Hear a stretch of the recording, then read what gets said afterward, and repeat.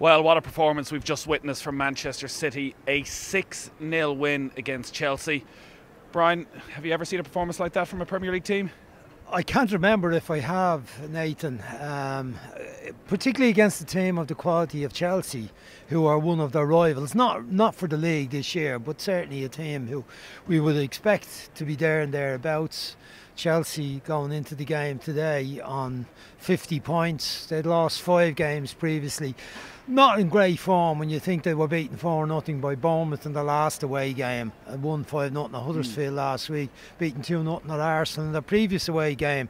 So obviously they're a bit brittle in their away performances, but still that was a sensational performance by Manchester City. And you, what you, was it? You, well, what was it?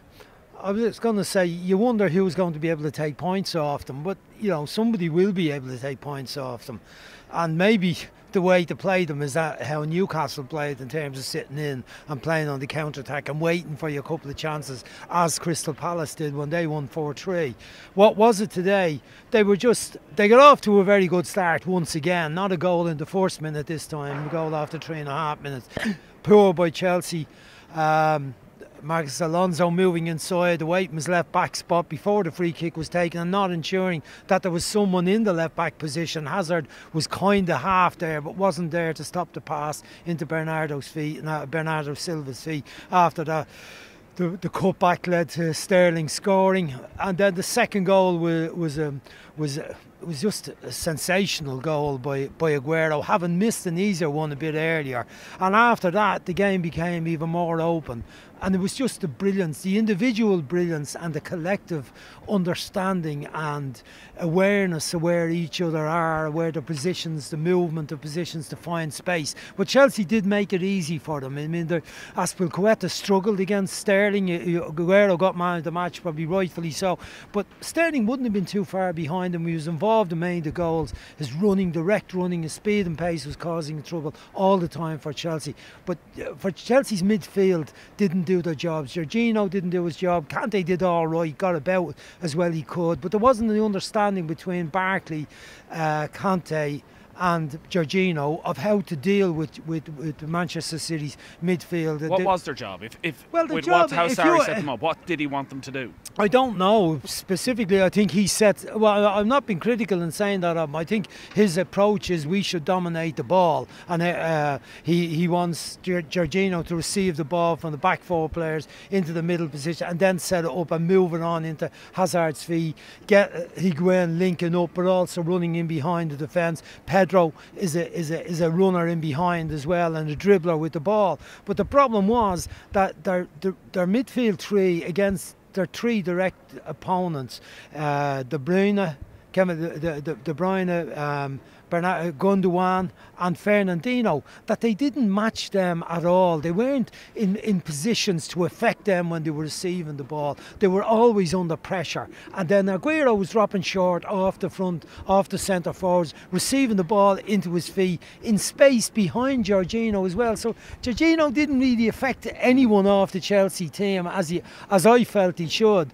But you know, when you lose two goals early on, then it's a bit of a chase and they were open, but but they, they just weren't able. To, it's hard to see what team would deal with them on the form that, that Manchester City were in today. But you, as the fixtures go on, you know, I, th- I think one of the the biggest games of all will be when, when Spurs eventually come here because whether Spurs are still in contention at that time or not, but if Liverpool you would think will still be in contention and they would be hoping that Spurs might be able to do a job. The record here 14 wins, uh, one defeat. The goals they've scored mm. 51 goals. It, it, it's, it, it's, it's marvellous. Nine times this season now they've scored five or more goals in a game as well. It's it's quite ridiculous what they're doing.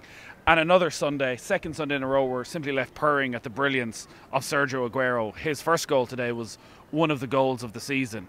He's now on 11 hat tricks in the Premier League, equal with Alan Shearer, seen as the greatest Premier League striker of all. It's very hard to rank players because different eras, different types of strikers. But what Aguero's done over the last couple of seasons, considering there were question marks when Pep Guardiola came in as to whether or not Guardiola really fancied him, if he was his type of striker, what has he done to make himself, it seems, be even better at 30 than he's ever been before? Well, he's made himself into a, more effective team player. I mean, uh, Guardiola demands um, huge effort from the front players uh, in terms of retrieving the ball, in terms of pressurising the opposition, not allowing them to set on the ball and, and and Aguero has had to adapt a little bit to that. In the previous eras, uh, you know, he, he, before Pep, he didn't have to do that so much. He was allowed play as a centre forward, sometimes playing off a big centre forward, sometimes playing off uh, Edin Dzeko when he was here even.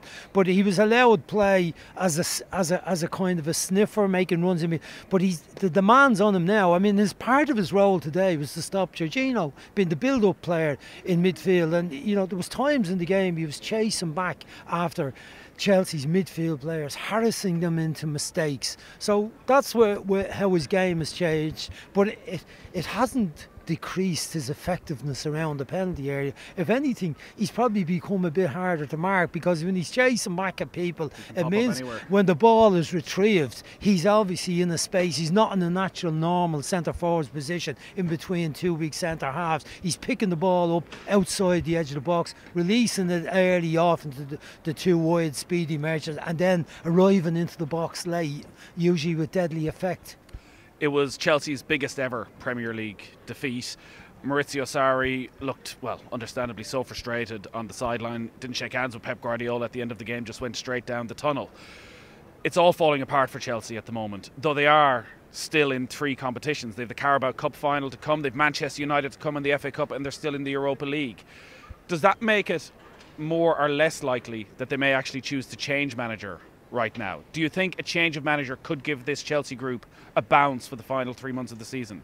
Well, the, the, the, the, decision makers in the club have backed Sarri in terms of bringing in Higuain because he obviously didn't fancy Morata uh, and he doesn't fancy Giroud either. He doesn't see them as as as, as um, I suppose consistent goal scorers. And Morata's confidence confidence had, had drained away over over this season, and uh, they've moved him on. So they backed him in, in, getting him, and they backed him in taking in Jorginho for huge sum of mm. money from Napoli as well. So it would seem a bit a bit odd, but but. Um, not unlike Chelsea, though, to get rid of a manager when things aren't going well. We've seen it before with other managers. We haven't been slow to get rid of Mourinho twice, and in the past, the, the, well, the way it generally works. the end of the yeah, well, it generally works in the next season. Mm. Sometimes they brought in someone like Benitez and Gus Hiddink, and they kept things going, and they won cup competitions in the latter part of the season. But Hiddink didn't want to stay on in the job. Benitez would have, but the supporters probably didn't didn't fancy Benitez, and there was a there was wasn't a great vibe around yeah. the club at the time, so they moved him out. Conte talked himself into being sacked anyway. So, you know, they, they have a history, but it must be getting a bit hairy for him now with those three successive defeats in the league 2 0, 4 0, 6 0. You know, it can't be eight against Bournemouth. But that, if are the he, players still playing for him? If he can hang, I would say the players are still playing for him. I, I don't think he's doing himself any favour by being critical and saying a few I thought he said a couple of silly things about Hazard, and uh, I think in the position where Hazard is. Is, is is iffy about whether he's going to stay or not. I think he needs to say positive things about him all the time. I don't think there's, I don't see any sign of um, of what what became obvious in Mourinho's latter time, days and, and towards the end of Conte's era as well, where the players got fed up with the manager and are thrown in the towel. I don't think that's the case as yet. But he needs results to turn in his favour at the moment or he won't be there next season. Chelsea don't mess about when certainly when it comes to the summer. Sometimes they wait till the summer, sometimes they don't. So he's under pressure.